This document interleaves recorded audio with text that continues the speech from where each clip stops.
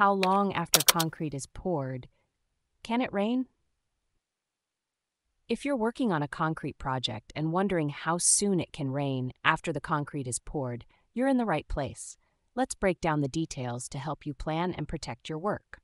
First, it's important to understand that concrete and rain don't mix well, especially right after the pour.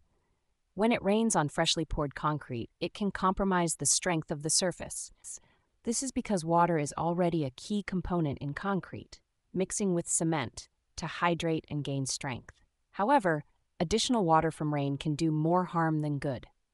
If rain is forecasted, it's best to postpone the concrete pour until the weather improves. Even if rain isn't predicted, always be prepared to cover the concrete with a tarp or plastic sheeting, making sure to seal the edges to prevent water from seeping underneath. Now, let's talk about what happens if it does rain after you've poured the concrete.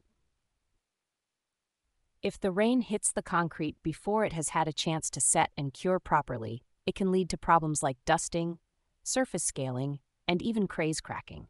These issues can be difficult to fix and may ruin the appearance of the finished surface. Here's a key timeline to keep in mind.